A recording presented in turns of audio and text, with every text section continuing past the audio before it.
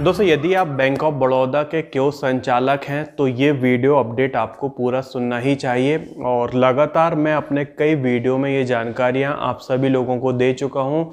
और यदि आप बैंक ऑफ़ बड़ौदा के अलावा भी किसी दूसरे बैंक का क्यों संचालन करते हैं तो भी ये अपडेट आपके काम का हो सकता है। इसको ज़रूर से सुनिएगा।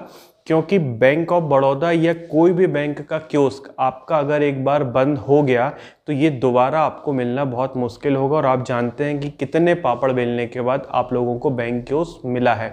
प्राइवेट आईडी लेना तो बहुत आसान है, आजकल पैसे भी नहीं लगते और सेम डे एक्टिवेशन भी हो जाता है। फ़िलहाल अभी मैं आपको ये जो अपडेट दे रहा हूँ, ये है बैंक ऑफ़ बड़ौदा की तरफ़ से। आपको जानकारी होगा कि बैंक ऑफ़ बड़ौदा जो अपने क्यों संचालक हैं, इन पर बहुत ही नियम के हिसाब से प्रकार से हम बोलेंगे कि चलता है और किसी भी प्रकार के गलत एक्टिविटी को ये रोकना चाहता है।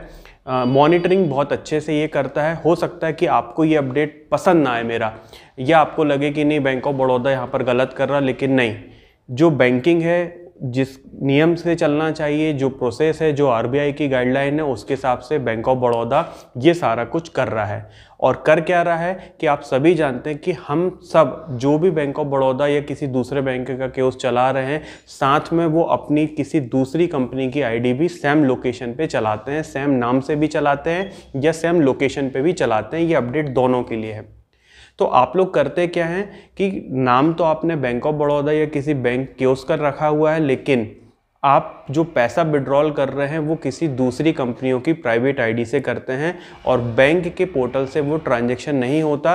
साथ ही आप कुछ इनलीगल एक्टिविटी भी करते हैं, जैसे ओवर चार्जिंग करते हैं और बैंक के टारगेट में आप मदद नहीं करते, जहाँ पर बैंक आपसे पेंशन योजना, जैसे अटल पेंशन योजना है, बारह रुपये वाले बीमे होते हैं, तीन सौ तीस वाले बीमे होते हैं, हालाँकि इनकी राशि अभी बढ़ गई है। तो जब आप इस प्रकार की एक्टिविटी कर रहे हैं तो आरबीआई की गाइडलाइन के मुताबिक एक व्यक्ति एक ही बैंक का क्योस चला सकता है या बैंकिंग आईडी चला सकता है। अब आप उसको क्योस भी मान लें, चाहे वो प्राइवेट एईपीएस आईडी भी मान लें। तो बैंक ऑफ़ बड़ौदा भी अब ये कर रहा है आप ये स्क्रीनशॉट देख पाएँगे, बहुत सारे हमारे जो बैंक ऑफ़ बड़ौदा के क्यों संचालक मित्र हैं, उनको स्क्रीन पर इस टाइप का मैसेज आ रहा होगा और बहुत सारे लोग तो इसको पढ़ भी नहीं रहे कि ये आ क्या रहा है और सीधे वो कंटिन्यू की बटन दबा देते हैं। इस मैसेज का मतलब यहाँ पर यह है कि बैंक ऑफ़ बड़ौदा ने ये पाया है उनका जो इंटरनल सिस्टम है, जिससे कि वो पता करते हैं, उनके जो सुपरवाइजर बीसी सुपरवाइजर होते हैं, उनके माध्यम से पता लगता है। और मैंने एक वीडियो बीसी रजिस्ट्री के ऊपर भी बनाया था, जहाँ से आपके पिन कोड पर, आपके मोबाइल नंबर से, आपके नाम के हिसाब से बैंक आसानी से ये फाइंड कर सकता है कि आपके नाम पर कितनी कितनी आइडिया चल रही हैं। फॉर एग्ज़ाम्पल अगर आप बैंक ऑफ़ बड़ौदा के क्यों उसको आपने Spice Money Roinet Paynearby किसी से आई लेके रखी, ये सारा डिटेल वहाँ पर आ जाता है।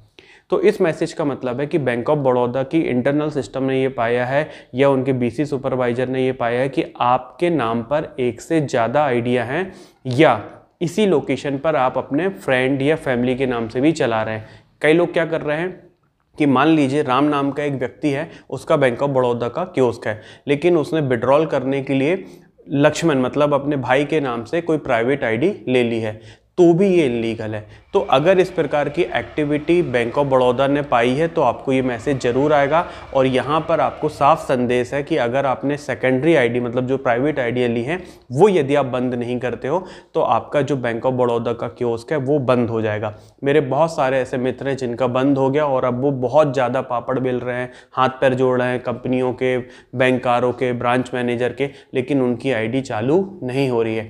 तो यदि आपको ये मैसेज आ रहा है तो आप अवेयर हो जाइए प्राइवेट आइडियाँ बंद कर दीजिए। इस पर भी मैं वीडियो बना चुका हूँ कि किस प्रकार से आपको अपनी प्राइवेट आईडी बंद करना है। और आप एक निश्चित कर लीजिए, या तो आप प्राइवेट आईडी ही चलाइए, या फिर आप बैंक का क्योस ही चलाइए। अगर आपको बैंक के क्योस में आपको फ्यूचर सुरक्षित लग रहा है तो आप केवल उसी को आगे बढ़ाइए प्राइवेट आइडियाँ नहीं चलाइए। और आपको लग रहा है कि नहीं, बैंक में हमारा भविष्य सुरक्षित नहीं है इनकम सफिशेंट नहीं है तो फिर आप प्राइवेट आइडिया चला सकते हैं। तो यही एक वीडियो अपडेट के माध्यम से बताना था। चूँकि बैंक ऑफ़ बड़ौदा बहुत तेज़ी से, बहुत ईमानदारी से इन सारी चीज़ों को फॉलो करता है तो आपको वो मौका नहीं देगा ज़्यादा ज़्यादा समय नहीं देगा, इसलिए आपको जल्द से जल्द अपनी प्राइवेट आइडिया बंद करनी है। यदि आप दूसरे कोई बैंक का केस चला रहे हैं, जैसे पंजाब नेशनल बैंक, एसबीआई या सेंट्रल बैंक ऑफ़ इंडिया का तो इनमें भी ये पोजीशन आएगी, लेकिन इनमें थोड़ा सा समय लग सकता है। लेकिन मैं तो आपको बोलूँगा अभी से कि आप अवेयर हो जाइए और आज ही प्राइवेट आइडियो से काम करना बंद कर दीजिए। इसमें अगर आप ये सोचेंगे कि आपके नाम का अगर क्यूज बंद हो गया तो हम अपने परिवार में किसी के नाम से ले लेंगे तो आज की डेट में ये भी संभव नहीं हो पा रहा है। तो आशा करते हैं आप मेरी बात समझेंगे और ये वीडियो अपडेट आपको पसंद आया होगा। इसलिए इस वीडियो अपडेट को सुनने के बाद आईडी बंद करिए, वीडियो को लाइक करिए, चैनल पर अगर आप पहली बार आए तो चैनल को सब्सक्राइब भी करिए और ज़्यादा से ज़्यादा इस वीडियो को अपने ग्रुपों में, अपने फ्रेंड, अपने फैमिली के साथ शेयर करें ताकि वो लोग भी अवेयर हो सकें और उनकी जो आईडी है वो बंद होने से बच सके। मेरा नाम था सुशील मोदी और आप देख रहे थे YouTube channel Modi Infotech video देखने के लिए बहुत बहुत धन्यवाद दोस्तों। इसी तरह आप हमारे साथ बने रहिए। धन्यवाद।